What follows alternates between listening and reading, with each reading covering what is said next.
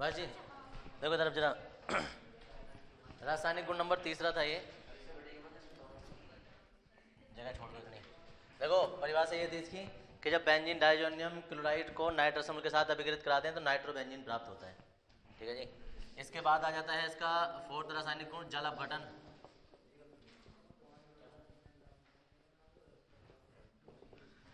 जल अपघटन।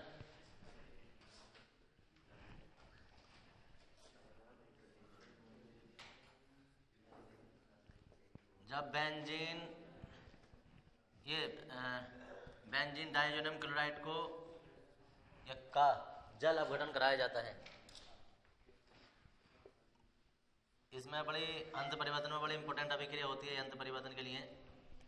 तो ये सब हट जाते हैं यहाँ से। देखो एच ओ एच होता है तो एच प्लस है ओ एच माइनस है। ऐसे ही एन टू तो सबसे पहले गई अभिक्रिया होने पर एन टू तो सबसे पहले अलग निकाली जाता है। उसमें तो अलग ही बात है। सी एल रह जाता है। सीएल किसके साथ जाएगा? एच के साथ। और यहाँ ओ एच बचेगा, वो इससे जुड़ जाता है, यानी कि फिनोल बनाने वाली बहुत ही मुख्य अभिक्रिया है फिनोल और इसका नाम तो है ही। जब बेंजीन डाइजोनियम क्लोराइड का जल अपघटन कराया जाता है तो फिनोल प्राप्त होता है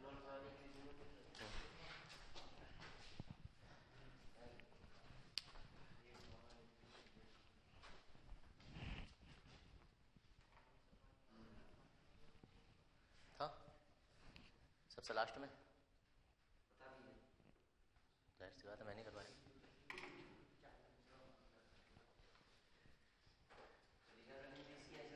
अरे लिखोगे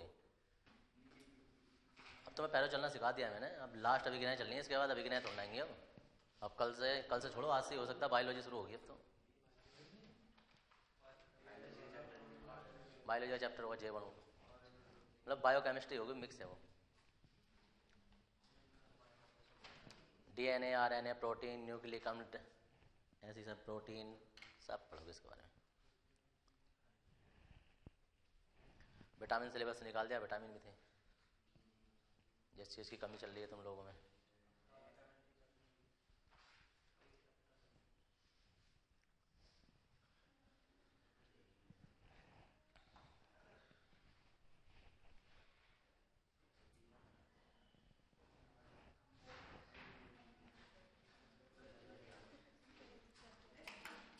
बंद कर देना बंद कर देना।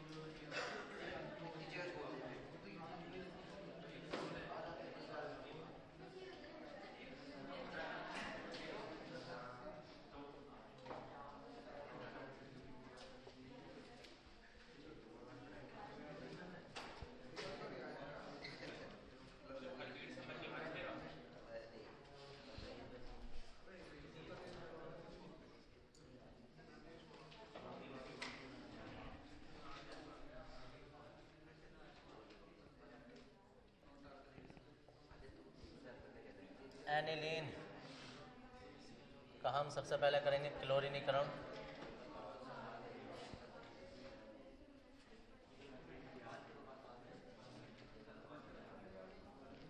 क्या बनेगा?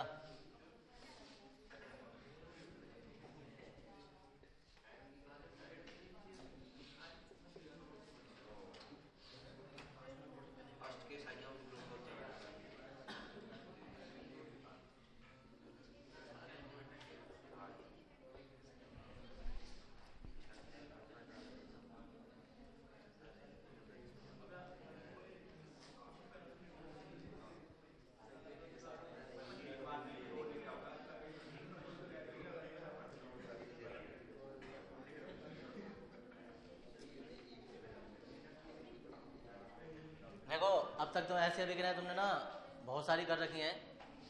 नाइट्रीकरण वाली हेलोजनीकरण या क्लोनीकरण वाली, या सल्फोनीकरण वाली, काफ़ी अभिक्रियाएँ कर ली अब तक। या तो वो और तो पहला वाला बनता है, या वो मेटा वाला बनता था, ऐसा करके यौगिक बनते थे। लेकिन एक एनिलीन ऐसा यौगिक है जो ऑर्थो, पैरा, मेटा तीनों प्रकार के यौगिक बना के देता है, अकेला ही। ठीक है जी? देखो ये। ये अकेले ही तीनों प्रकार के यौगिक बनाता है। एक तो ये बनाएगा ये विशेष परिस्थितियों में आती है ना इसकी। दस दर्शाता तो प्रकृति ये है, लेकिन इसके साथ की बात करें, ये है एन एच टू ये है एन एच टू और ये है एन एच टू ये एन ओ टू यहाँ लगेगा, एक एन ओ टू यहाँ लगेगा, एक एन ओ टू यहाँ लगेगा। ये वाला बैठता है इक्यावन परसेंट, ये वाला बैठता है सैंतालीस परसेंट और ये वाला बैठता है दो परसेंट। पूरे हो गए क्या? ये है एनिलीन। इसका नाम है ओर्थो, पहला दिखाई दे गया ओर्थो नाइट्रो ये पहला कर रखा है। अगर पौवा भीगा पड़ रहा हो क्या?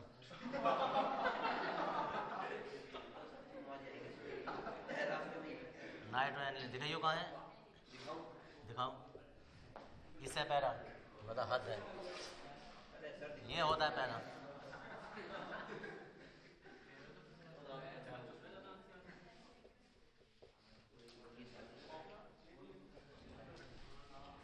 है बेकार की कोशिश कर रहे हो? ये चीज़ें नहीं होती हैं। अब देखो सर यह आ गया इतना? इसमें ऑर्थो मेटा, पैरा तीनों प्रकार के यौगिक बनते हैं। बाकी एच निकला होगा यहाँ से साइड से और वहाँ से ओ एच बचा होगा तो एच टू अलग निकल जाता है। इसके बाद आ जाता है इसमें सल्फोनीकरण।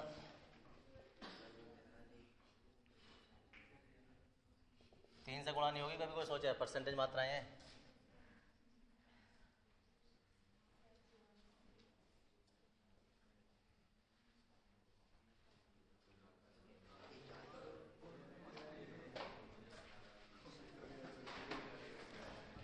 जब देखो इधर जब एनिलीन को एस्ट्रोजोफोर के साथ अभिकृत करते हैं तो ये कोई अभिक्रिया नहीं देता है।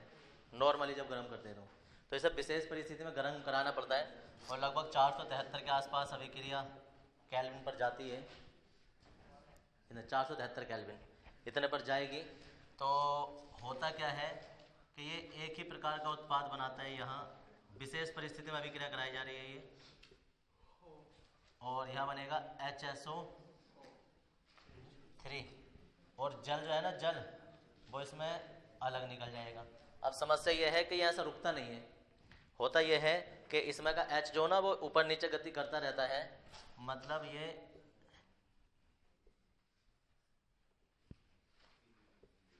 यहाँ एन एस थ्री हो जाएगा और यहाँ एस ओ थ्री रह जाएगा।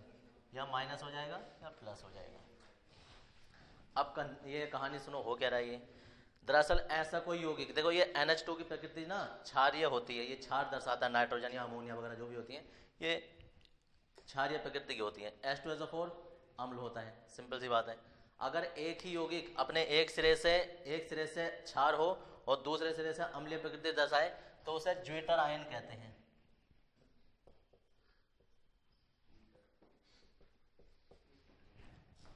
Zwitter ion. ज्वेटर आयन का मतलब होता है कि उसकी द्विध्रुव प्रकृति होती है। द्विध्रुव प्रकृति का मतलब होता है कि एक सिरा प्लस होगा, एक सिरा माइनस होगा उसका। या एक सिरे से बहुत बहुत क्षार्य गुण दर्शाएगा और दूसरे सिरे से अम्लीय गुण दर्शाएगा। एक ज्वेटर आयन तुम्हें यहाँ मिलेगा। एसिटिक अम्ल होता है सी डबल ओ एच अब इसमें से एक एच कम करके एन एच टू लगा देते हैं। ये जो भी तुम्हारा नाम बन जाता है, वो तो आयुर्वेदिक कर लो जैसा भी है। वरना ग्लाइसिन कहते हैं इसे, साधारण नाम है। तो ये वाला सिरा जो होता है ना, ये वाला सिरा, ये अम्लीय होता है, ये क्षारीय होता है, ये भी ज्विटर आयन कहलाता है। क्वेश्चन आ जाता है ज्विटर आयन किसे कहते हैं? तो हम कहेंगे वे आयन, जिसकी द्विध्रुव प्रकृति होती है, द्विध्रुव प्रकृति जो कैसे मतलब? दो ध्रुव वाली, द्विध्रुव प्रकृति होती है, जिसका एक सिरा अम्लीय और दूसरा सिरा क्षारीय होता है, उसे ज्विटर आयन कहते हैं। एक नंबर का अलग से क्वेश्चन बनेगा। तो ज्विटर आयन का उदाहरण ये भी लिख सकते हो, ये भी लिख सकते हो। ये लिखेंगे हम अभी जैवण वाले चैप्टर में और ये अभी लिख रहे हैं। तो देखो सर, ये सारी अभिक्रियाएँ उतार लो। और सारी अभिक्रियाएँ उतारने के बाद में जब यहाँ हो गए ना तो यहाँ तुम पाँच लाइनें छोड़ के इसे उतार लेना, उसकी हिंदी लिखवाऊँगा मैं। इसकी पाँच लाइनें छोड़ देना। बाकी सबकी हिंदी अपना आप लिख लो। वो को हिंदी नहीं है, वो तो और तो पैरा उत्पाद बन जाते हैं।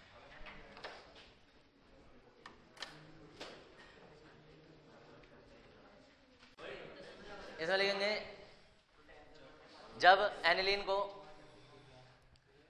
जब एनिलीन को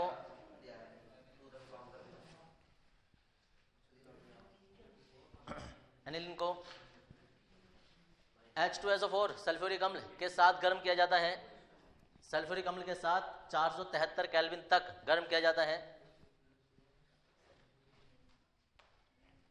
चार सौ तिहत्तर कैलविन तक गर्म किया जाता है।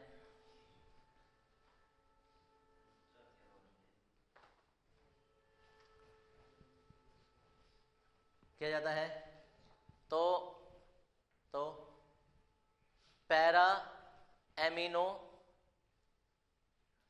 para amino,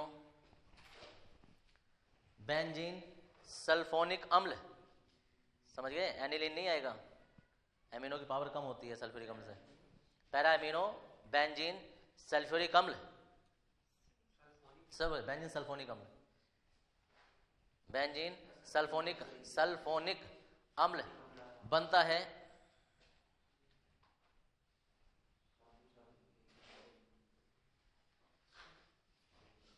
बनता है जिसकी प्रकृति द्विध्रुवीय होती है। द्विध्रुवीय।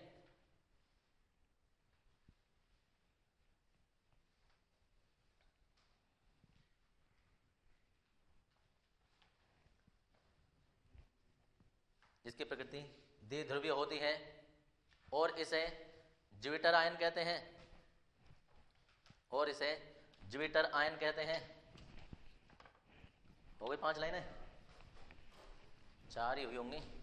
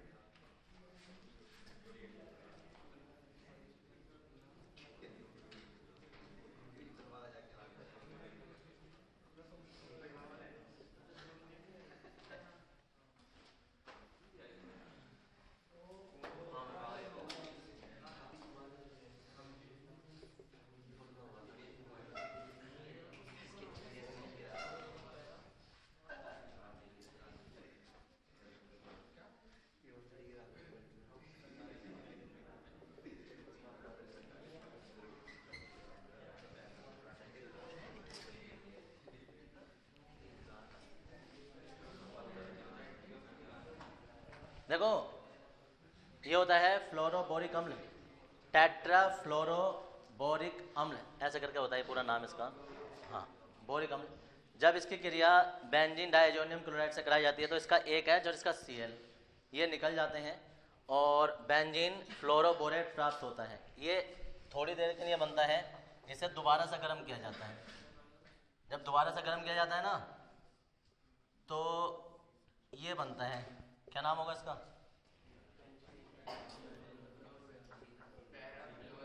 अरे, फ्लोरो बेंजीन। देखो, पैरा, मेटा तब लगाते हैं जब कोई दूसरा हो और उसकी स्थिति बताने की मजबूरी पड़े। ये तो अकेला ही है, जहाँ होगा ये अकेले का खुद का नाम होगा। इसमें पैरा वैरा स्थिति नहीं होती है ऐसे। जब कोई दूसरा होता है, तब बताना पड़ता है कि पहला वाला कहाँ है।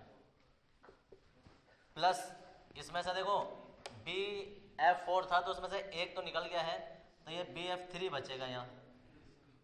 ठीक है ना ये होता है बोरोन ट्राइफ्लोराइड। और एन टू जो है, वो सबसे पहले अलग निकल जाता है। तो ये सब जो लास्ट में फ्लोरोबेंजिन प्राप्त होता है, इसे कहते हैं बारिशी में नवीक्रिया। ठीक है जी? इतना करना है। तो पहले इसकी हिंदी लिखेंगे। और एक और बात सुन लेना जरा। देखो नोट करके एक बात लिखनी है हैं? नीचे लिख लेना, ये एक नंबर में क्वेश्चन आया था, सुनो एक मिनट। एल्किल समूह एल्किल समूह की उपस्थिति से उपस्थिति से क्षारीय क्षारीय गुण बढ़ते हैं। देखो, अगर एल्किल समूह जितने ज़्यादा होंगे ना वो चीज़ उतनी ज़्यादा क्षारीय होती रहेगी। अब तुम लोगों को सोच के बताना है कि एक, ये वन डिग्री अमीन है, ये टू डिग्री अमीन है, और ये थ्री डिग्री अमीन है। वन डिग्री टू डिग्री और ये थ्री डिग्री इनमें सबसे ज़्यादा क्षारीय कौन सा होगा? जितने ज़्यादा एल्किल समूह होते हैं, उतना ज़्यादा क्षारीय होता है।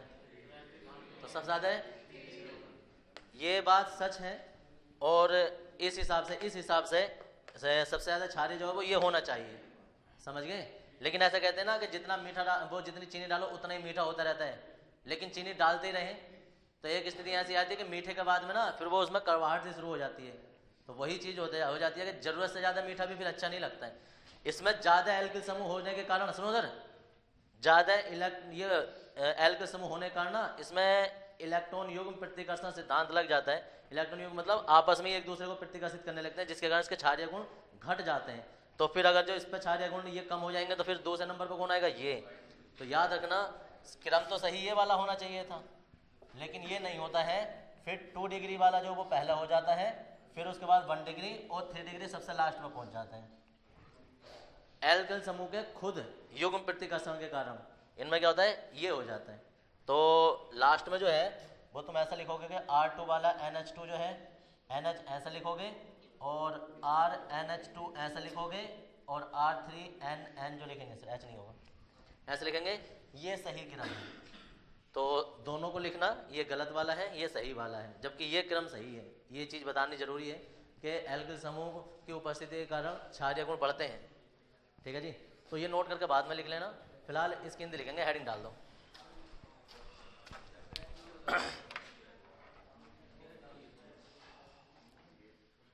इसमें लिखेंगे जब बेंजीन डाइजोनियम क्लोराइड को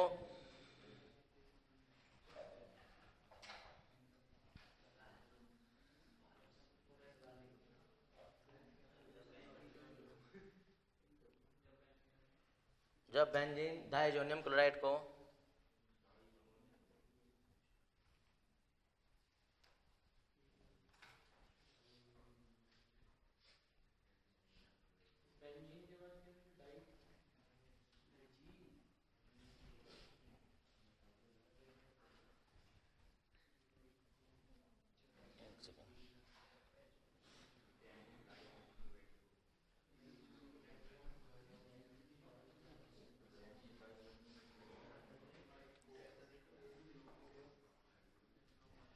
जब बेंजीन डाइजोनियम क्लोराइड को टेट्रा फ्लोरोबोरिक एसिड मतलब अम्ल, टेट्रा फ्लोरोबोरिक अम्ल,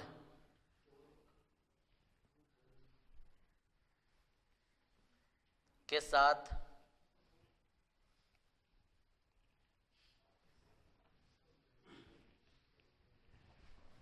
टेट्रा फ्लोरोबोरिक अम्ल के साथ अभिकृत करते हैं।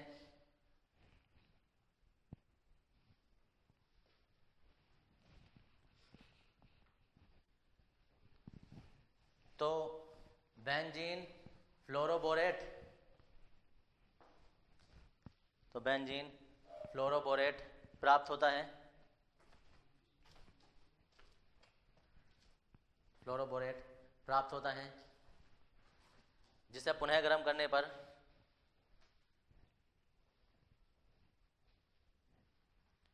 इसे पुनः गर्म करने पर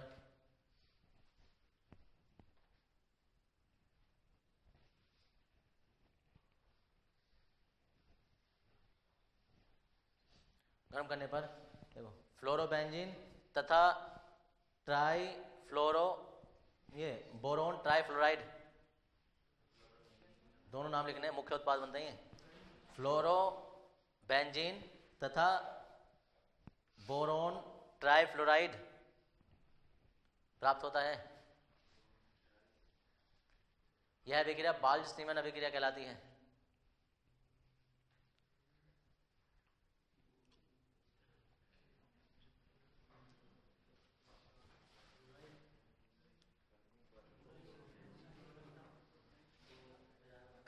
उतार लो